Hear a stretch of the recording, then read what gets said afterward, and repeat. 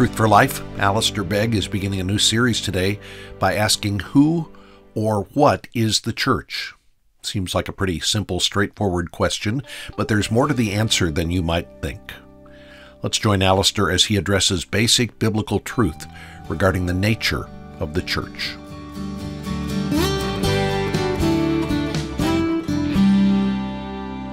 Father, we are glad of the privilege of singing your praise, and now we're expectant as we take our Bibles and open them that in these precious moments we will hear your voice. This is the end to which we pray, and this is our earnest expectation that far beyond the voice of a mere man, we may know ourselves to be under the sound of your truth by your Spirit through the pages of your holy scriptures for Jesus' sake. Amen. Can I invite you then to turn with me once more to Ephesians chapter 2? And if you like, the title of our study this morning is simply Who or What is the Church? Who or what is the Church? Men and women may say, of course, that that is a rather esoteric uh, area of study uh, something that we can perhaps leave well alone. There are more practical and pressing issues given the nature of each of our lives today. But I think we'll discover as we go along that no matter whether we begin from that mindset, uh, we will discover just how vitally relevant and crucial it is at this point of the 21st century. There is no question that the very word church conjures up all kinds of things in the minds of men and women. It is a word, a phrase, the church, that is very often misunderstood. People will immediately think or talk in terms of buildings that are configured in a certain way. They may speak in terms of denominational structures they have known or out of which they have come. They may speak in terms of individuals that they see in the street who seem to be dressed rather quaintly, identifying themselves as members of the clergy, distinct from the laity that attends these buildings. And the extent to which misunderstanding is represented by a consideration of the church is almost limitless. Other people view the church as an object of mistrust. If you talk with them for any length of time, they will speak of the hypocrisy that they've encountered, and they may also speak of the harm that they have experienced. I don't like those people. They may say, I don't want to go there ever again. After all, the place is full of hypocrites, and there is never a place I've been more harmed than in Mr. So and so's establishment or whatever it might be. At the same time, the church is increasingly marginalized in the minds of men and women. Let us not allow the numbers that presently wander into church buildings to confuse this issue. The church in the West is increasingly pushed to the periphery of public life and thought. The very way in which it is difficult for buildings to find a place now anywhere close to the center, as it were, of a town or village or city, any opportunity of them being placed in the very heart of the public square is almost non existent in America. Instead, they're being pushed out to outlying areas and in often, uh, in many cases, actually into industrial sites. Some people seeing this as a cause for encouragement, others of us, I think, a cause of alarm. And the marginalized way in which the church is regarded by the secular mind is only followed two steps behind by the way in which the church is marginalized in the experience of those who would regard themselves as the faithful. I don't want to be unkind to any of you in any way, but I think this makes the point as clearly as I can. Namely, that when you think that some two and a half thousand to three thousand will have been present in worship this morning, there won't be a third of that here this evening. Now, the answer, of course, is not in every instance that it is being marginalized, but the answer is in part that it is being marginalized. And even those who would regard it as an issue of concern are themselves saying, once I've done my duty within whatever time frame it is, then I can disperse uh, any other considerations of that and get on with the main business of life. After all, say some, the church is really benign. It's really for old women who need blankets over their legs. It's for the kind of people that like singing in choirs and doing weird things like that. It deserves to be dwindling to a halt. It really is a completely useless institution. So harmless, so gentle, so proper, so benign. Many of the younger generation regard it not as benign, but frankly as bizarre. That anybody would ever want to give any consideration to these things they regard as something quite outlandish. After all, who are these people and what are they doing and why do they speak in all of those strange words? And why does the man behind the box always seem to have a funny voice? Why is it that if you meet him in the street, he says, Hello, how are you? And if you meet him in the pulpit, he says, Good morning, and how are you all today? They say, oh, I don't want to deal with a man like that. I don't want to deal with that kind of thing. One of my friends, Peter Cottrell, wrote a book years ago called Church Alive. And in the course of that, he was writing about this distinction between the way in which the average member of the populace goes about their day and talks, and then they come into an establishment that is represented by Christianity, and they have to cross a bridge into another subculture altogether. And he wrote a little poem that he thought might have been on the lips of a bus driver who had attended one of their services. This is written uh, as an Englishman in England. And it goes like this I drive a bus, yes, that's my job at 60 quid a week. That's uh, 60 pounds a week which at the moment is work it out for yourselves. I drive a bus, yes, that's my job at 60 quid a week. I'm a sinner, so they tell me, one what Jesus came to seek. So the parson says, and he's the bloke what really ought to know, with his everlasting sermons, he's the bloke what runs the show.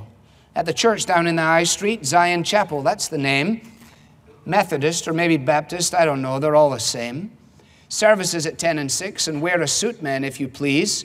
If you've got a cold, don't come, or if you do, don't dare to sneeze, because the vicar doesn't like it and he makes an awful fuss. But you have to treat folks different when you're driver of a bus. I've often thought I'd like to be a Christian just like you, with a hymn book in me hand, and maybe learn a prayer or two. Of course, I'd have to learn the language, all them these and thous and thuses, and the shouts and shoots and mayists. We don't use them on the buses.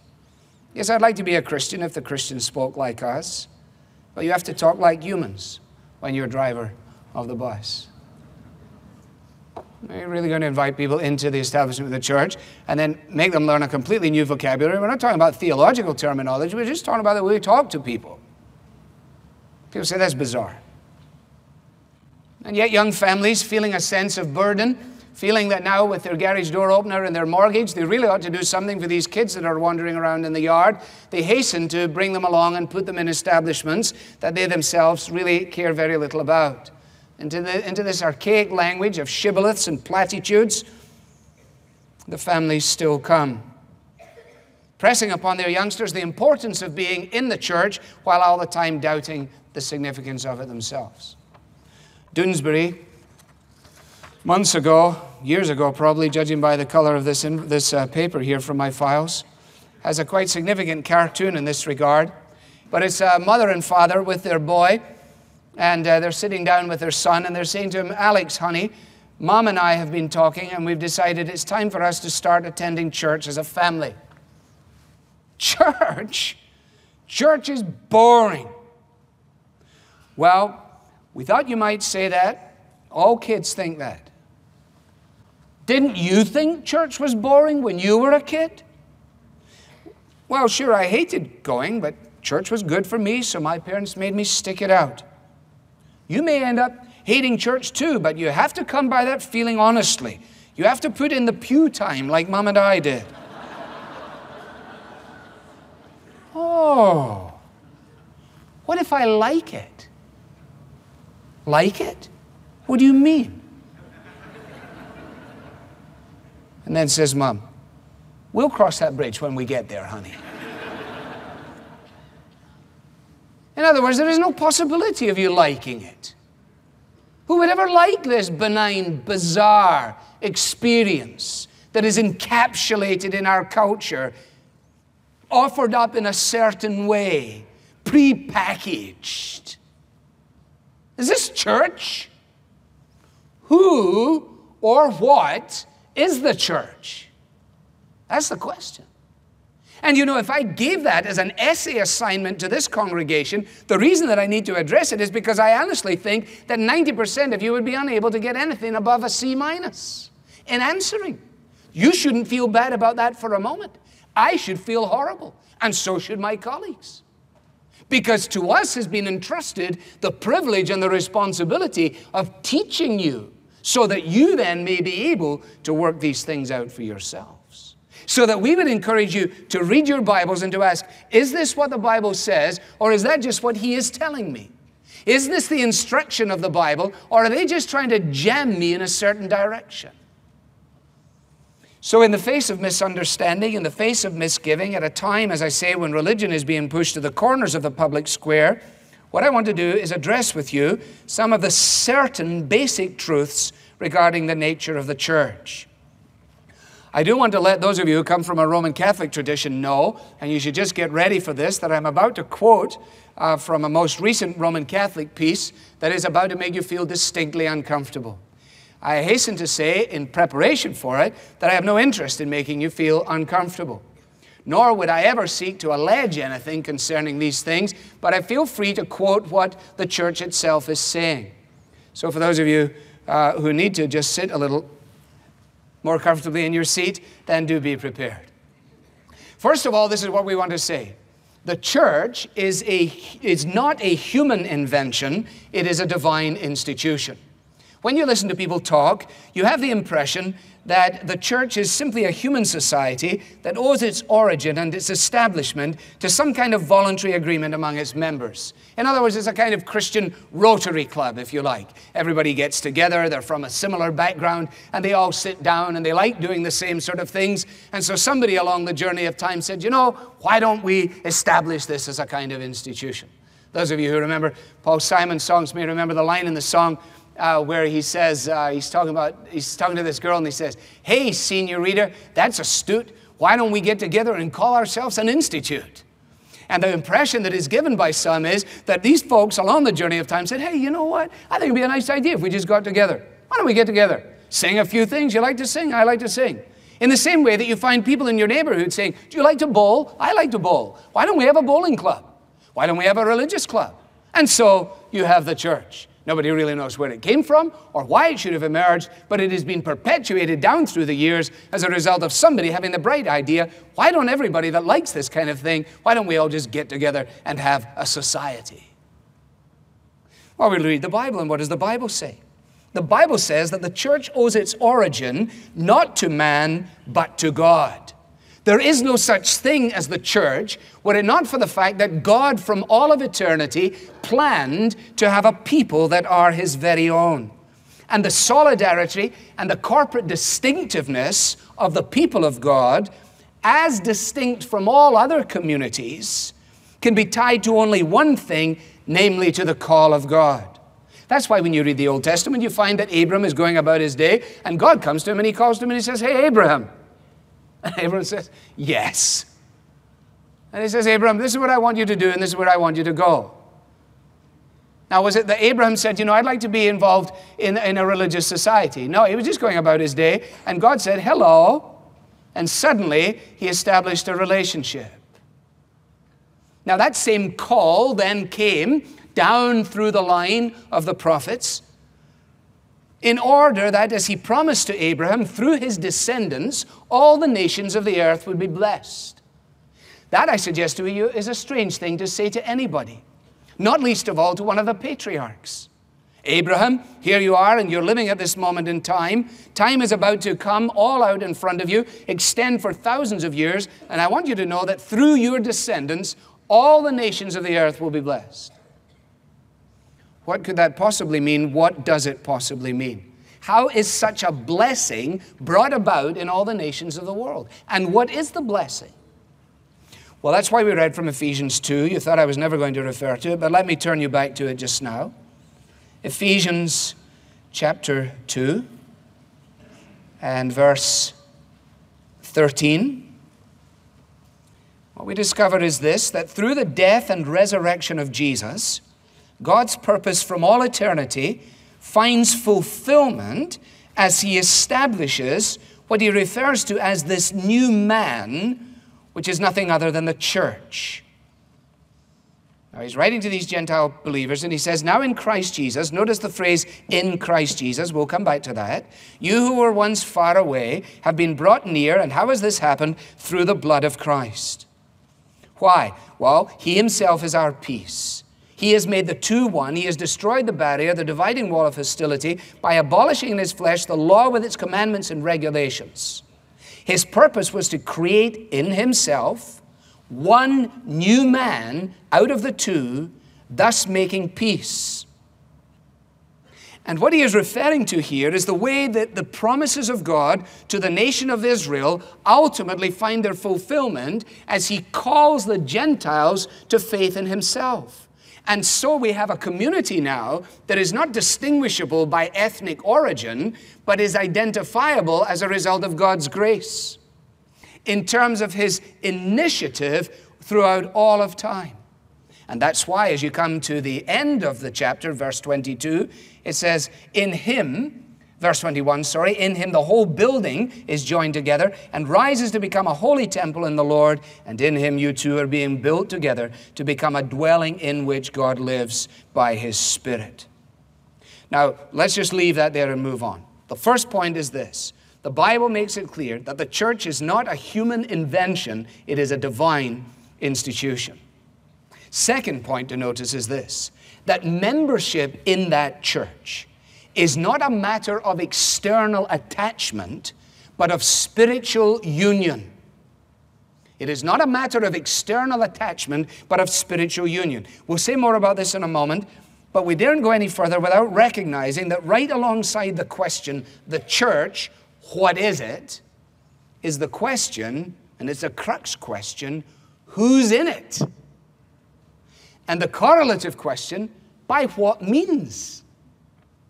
If there is a church that not everyone is in, who's in? And how do you get in? I think it will become immediately apparent to each one of us that we're not talking here about how you become a member of the local gathering of the church. We're talking about a much bigger, cosmic, more significant question. How do I, as someone who by virtue of my birth is not a member of the church, is not part of the community of God, how is it that I would ever be in it? And I suggest to you that the answer to that question and the disagreements over the answer to that question are absolutely crucial. Because clearly, not every answer that is given is the right answer. And if there is a right answer that the Bible gives, then we need to discover it because it's going to have an impact not only on the immediacy of our lives and the way in which we rear our children and the things that we say to our friends and neighbors, but it matters for all of eternity. For the community that God has been putting together from eternity to eternity is this community, the church. And that's why his focus is not on America. That's why his focus is not on Britain. That's why God in heaven is not somehow or another preoccupied even with Jerusalem at the moment or with Peking, because his focus is on his people. A people that he is determined to call out from all of time. Now, Paul addresses this in Ephesians 2. He reminds these Ephesian Christians, first of all, of what they were. Consider, he says, what you were. And I can't expound all of this, I don't have time, but I don't want you to miss it. What does he say they were? As for you, you were dead in your transgressions and sins. In other words, you were spiritually dead. That's not difficult to understand. There was no life spiritually in us at all. We are depraved. That doesn't mean that we're as bad as we could possibly be, but it does mean that there is no part of our human nature that is not touched and tainted by sin. And we have no ability to disassociate ourselves from that trap in which we're born. Spiritually dead, disobedient, pleasing ourselves, and at the end of verse 3, the objects of wrath. This, if you like, my friends, is the plight of man. This you will not find in the average newspaper, indeed, in hardly any newspaper. This you will not find in the history books as an explanation for the sad and sorry predicament in which we find ourselves. People are trying desperately to explain it in terms of the responses to various factors in life, whether they're economic factors or, or environmental factors or whatever they might be. We are better equipped in analyzing that than we have ever been in the history of humanity. And yet, even the leaders of our country are unable to extricate themselves from the sorriness and the rottenness and the fallenness and the sinfulness of it all. And these are the people to whom we would look in order to provide the solutions for our predicament? No, our predicament is, is so deep that there is no human agency that is going to be, be able to extricate ourselves. And yet the message comes try and fix yourself, try and find yourself, try and reform yourself, try and embrace religion, try and be a little better. And all of these apparent stepping stones are nothing other than stumbling blocks. My dear friends, if we're going to be made spiritually alive, it's going to have to happen as a result of a power outside of ourselves and not as a result of our being able to look into ourselves and find the God part in ourselves or find the spiritual part in ourselves, which is, of course, so much contemporary thought. Why don't you just go away for the afternoon and find yourself? And you'll find that you have a lovely self in there. And if you can just cultivate that like a large, like a large, uh, sunflower, uh, then you will just be a lovely sunflower just sitting in your car at the traffic lights. Well, I encourage you to try it, and you'll see how quickly a sunflower can wither, as a result of self help. Consider what you were. Consider, secondly, what Christ did, verse 13. He shed his blood. Why? Because without the shedding of blood, there is no way for sin to be remitted. If there is any other way, then there is no need for a crucified Christ. He shed his blood. He brought us near. He made us alive. He saved us. That's why he's then able to go on and say, Consider what you are. Verse 6 You are seated in the heavenly realms. You are ready, verse 10, to do good. Verse 7 You're being prepared for a quite incredible show and tell.